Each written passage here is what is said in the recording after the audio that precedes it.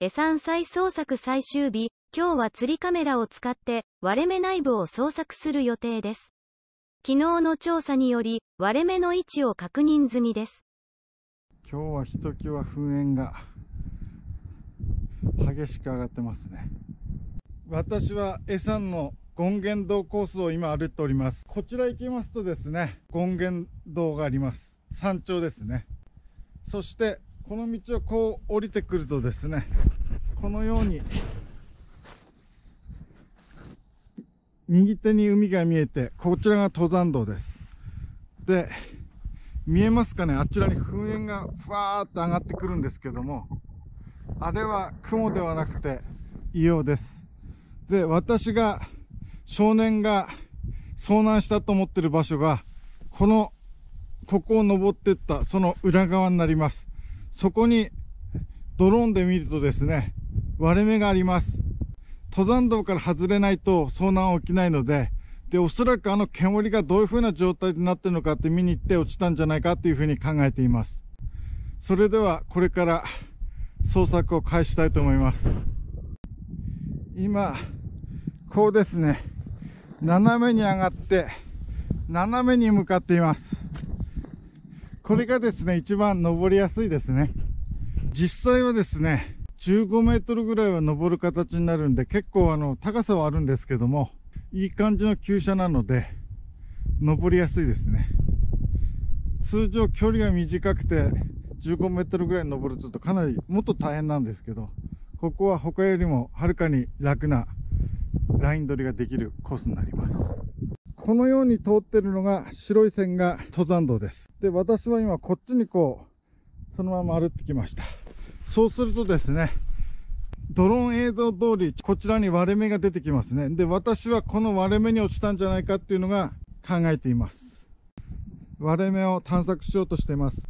ケーブルの先にですね、この釣り竿の先にカメラがついていて、そのカメラの映像がこちらにこのようにこのようにですね、出ます。こちらが釣りカメラになります。左下のモニター画面を確認しながら探っていきます。カメラが思った以上に回ってしまい、画像の確認がとても大変でした。モニターに関しても、作業台のようなものを置いて、もっと見やすくする工夫が必要でした。今回用意した竿の長さは10メートルで、操作がとても難しく、この後、竿を折ってしまいましたこちらとですね今このカメラを使ってですねあのあちらにモニターに映してやってたんですけどもこれがもうくるくるくるくる回転してしまって画像が安定しないっていうのともう雪がねやっぱりものすごいので下かなり積もってて全然このちょっとでも触れてしまうともう映像になんなくなっちゃうんですよね。10メートルの差を買ったんですけども、重すぎて、操縦うまくいかないっていうのと、差を折れてしまいました先っぽがですね、ちょっと折れてしまいました。いやいや、もう参っちゃうな。今度はですね、この GoPro をもそのまんま落とそうということでやってみたいと思います。それではカメラをつけた竿を伸ばしていきます徐々にクラック内が見えてきました思った通り、ヘリで上空から見たとしても、崖の縁から覗き込んだとしても、かなり死角になる部分は多いと思いました。中は細長く、思っていたよりも広い感じがしました。こちらが、割れ目の内部への入り口になります。まさか入れるとは思いませんでした。今回は入りませんでしたが、このような噴気口の近くにある割れ目やくぼ地に私が入るときは、念のためにガスマスクをつけて入ります。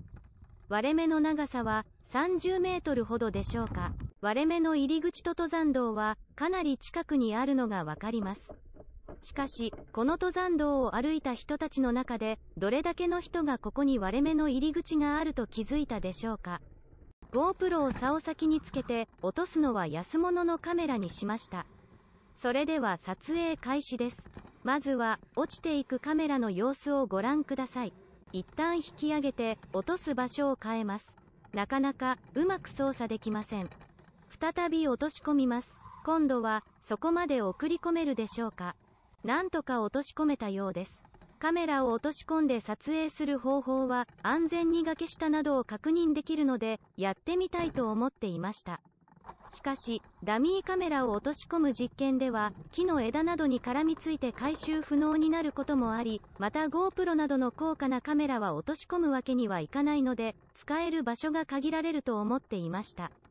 この割れ目は入れるためにもし岩に引っかかったとしても回収できる可能性が高いので GoPro で実験しようかと思いましたがやめました。貧乏症ですね。わら今度は落下していくカメラからの映像をご覧ください。安いカメラなので画質が悪いこととちょっと目が回るかもしれません。ご注意ください。GoPro と全く同じ大きさの格安ウェアラブルカメラで撮影しております。この回転をどのように抑えるかが今後の課題になりますがかなり有望な捜索方法だと確信しております。割れ目や崖下を調査するにはドローンはどうしても不向きですしロープを使って降りるのは危険です。このようにしたらいいというアドバイスがありましたらぜひコメントをお願いします。クリアに見えるところはしっかりと確認できます。360度カメラで撮影できたらとても面白いかもしれませんね。カメラを変えるという選択肢もあるかもしれません。こちらが竿を伸ばして撮影した割れ目の俯瞰動画です。割れ目は左下に伸びていきます。12月23日。残念ながら発見に至りませんでした。これから仙台に戻ります。今回は赤線で示した割れ目を集中的に捜索しました。年内にご家族のもとに返してあげたいという願いは叶いませんでしたが有力な可能性の一つは潰せたと思います。このように可能性の高そうな場所を一つ一つ地道にチェックしていくほかないのだろうと決意を新たにしました。次回、エサンで捜索を行うときは、赤丸内で示した西尾根を中心に捜索してみたいと思っております。そして、この場所の捜索が、私の最後の捜索範囲となると思います。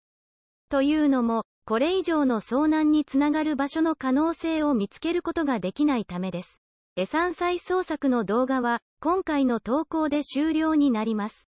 2週間以上もかかってしまい、相変わらずの編集の遅さに頭を抱えてしまいました。それでも、なるべく見やすいように、少しでも参考になるようにと、心を砕いたつもりです。この動画が、発見につながる気づきの一助になれば幸いです。今回も最後までご視聴いただきまして、誠にありがとうございました。アドバイスや応援など、温かいコメントをいただければ幸いです。